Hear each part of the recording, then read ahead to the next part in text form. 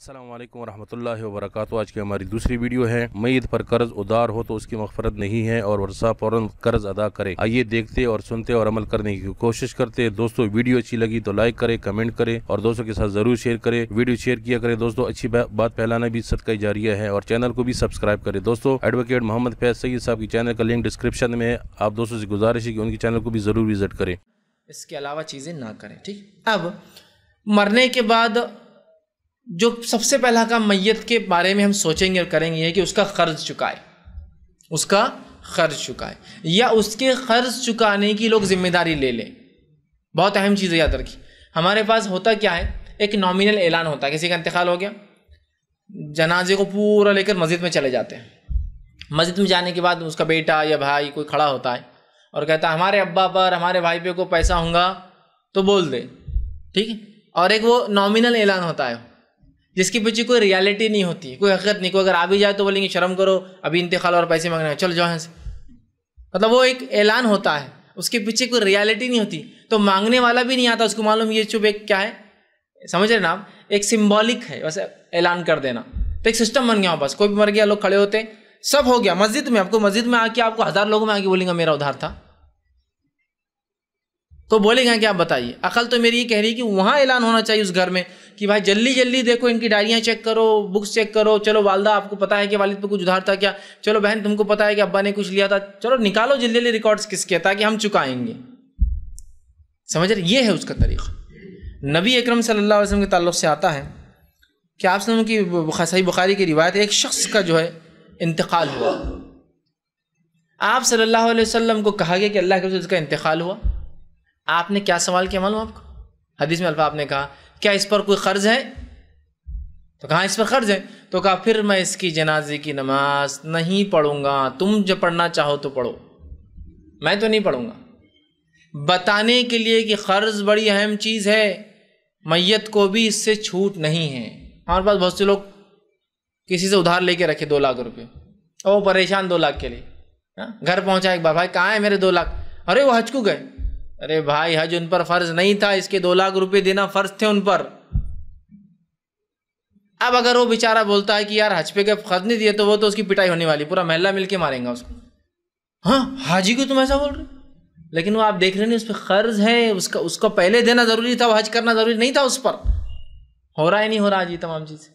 قرض کو معمولی مت سمجھیے۔ قرض جو نقصان کرتا ہے وہ یہ ہے کہ نبی اکرم سے پسند نہیں کیا، پھر آپ کو آ کر کسی نے بتایا اللہ کے رسول، ایک آدمی نے اسپانسرشپ لے لیا اس کا دینے کی، ذمہ داری لے لیا، میں چکاؤں گا۔ تو کہا، اب میں پڑھوں گا۔ نہیں تو میں نہیں پڑھوں گا، تم کو پڑھنا ہے، پڑھ لو تم جا کر۔ میں نہیں پڑھوں گا۔ اعلان اور بتانا تھا کہ بہت برا عمل ہے، کوئی اگر انتقال کر جائے اور قرض نہ چکایا جائے۔ فرسٹ کام کرنا ہے سب سے پہلے وارثوں کو۔ جلدی سے قرض نکالو اس کے کتنے ہیں۔ اب کوئی انسان یہ سوچیں گا، ارے، جب قرض مطلب زندگی میں ادھار تھا بول کے، پریشان تھا بول کے لیا لیکن نہیں۔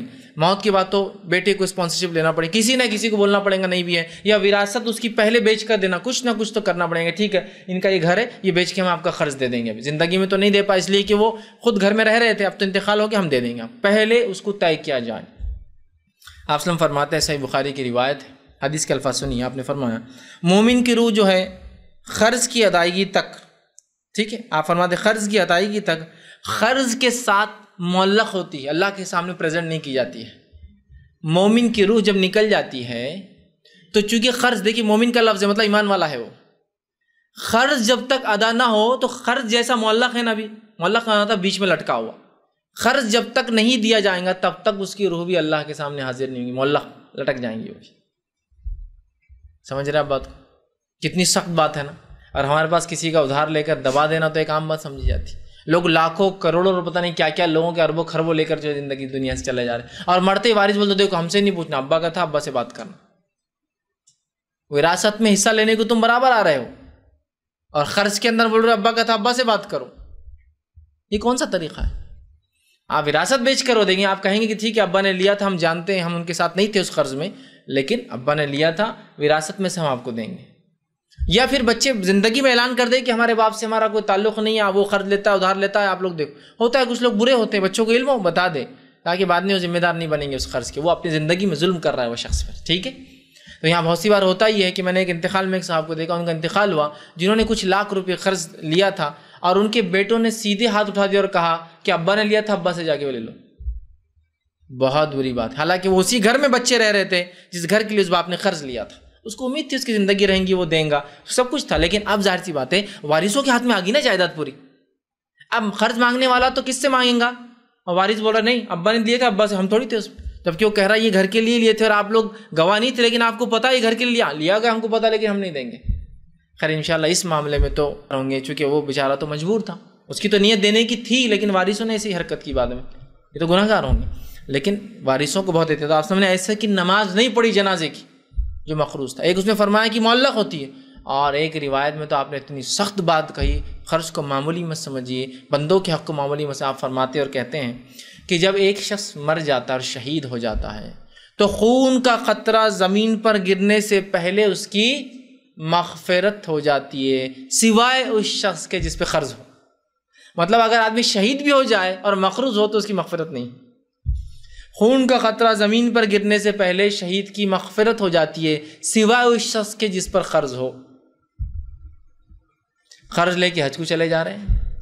لوگوں کے قرض ڈبا کر محلے چھوڑ کر بھاگ جا رہے ہیں۔ لوگوں پہ قرض لے کر جو ہے زندگی گزار کے چلے جا رہا ہے اور اپنے آپ کو بڑا تیسمار خان سمجھ رہا ہے۔ لیکن مرتے ہی اس کو حقیقتیں سامنے آ جائیں گی۔ جب اس کے نام عامہ ریپرزینٹ ہی نہیں ہوں گے اللہ کے سامنے، مولا قرض کے ساتھ لڑکا دیے جائیں گے۔ کتنا خطرناک حال ہوگا نا۔ سب سے پہلا کام کیا کرنا ہے؟ مرتے ہی یہ وہاں کرنا ہے۔ یعنی خالی ایک ایک ایک خالی لپ سروس جس کو بولتے ہیں نا کچھ تو بھی ایک ہاں کسی کا خرچ ہوتا آ کے لے لو اور بس چلے۔ رکے بھی نہیں آپ کے پاس خرچ، کیا؟ یہ جیب میں ہے کہ پیسے نکال کے دینے کو؟ نہیں وہیں اعلان کہ بھائی کیا کیا نکالو؟ اور ہمارا اب کام ہے کہ ہم کال کر کے اس شخص کو قرض دیں گے۔ اب بہت سے لوگ کیا ہوتے ہیں؟ یار، مر گئے نا، معاف کر دو۔ نہیں۔ وہ چاہے تو معاف کرے، نہ چاہے تو کم جیسے کہ ایک شخص کا انتقال ہوا۔ نبی اکرم صلی اللہ علیہ وسلم میں اس کی جنازے کی نماز نہیں پڑھوں گا، اس پہ قرض ہے۔ اس کے بعد بتایا کہ اللہ کے رسول سے قرض نہیں کوئی دے سکتا تو آپ نے کہا، ٹھیک ہے، پھر میں ادا کر دیتا ہوں اور آپ نے ہی ادا کیا اور آپ نے جنازے کی نماز پڑھی۔ پھر اس سے پتا چلا، کوئی بھی قرض ادا کر سکتا ہے۔ کہ تو آپ تو اس سے کوئی بھی نہیں تھی رشتے دار نہیں تھا آپ کا وہ۔ آپ نے پھر بھی اس کا قرض ادا کیا۔ تو ایسا ہو سکتا ہے، کوئی مالدار انسان ہو کہ میں ادا کر چلیے، لے کے چلیے۔ بہت امپورٹنٹ ہے یاد رکھیے۔ قرض بندوں کے حق کتنے اہم ہے کہ میت کی مغفرت بھی نہیں ہے اگر قرض نہیں۔ شہید کی مغفرت نہیں، اس کے گناہ معاف نہیں اگر قرض نہیں ادا کرتا ہے۔ تو اب اس سے بڑا کیا ہو سکتا ہے؟ شہید سے بڑا درجہ نہیں ہے کوئی یاد رکھیے کیونکہ اس نے جان لگا دی اپنے اللہ کا لیکن بندوں کا حق رکا ہوا ہے قرض تو تمہارے بھی لیے معافی نہیں بھائی، تم بھی اٹک جاؤں گے۔ تو اس بات کو غور کرے، سب سے پہلے قرض ادا کریں پانچویں چیز جو کریں گے، جب ویڈیو دیکھنے کا بہت بہت شکریہ، اللہ حافظ۔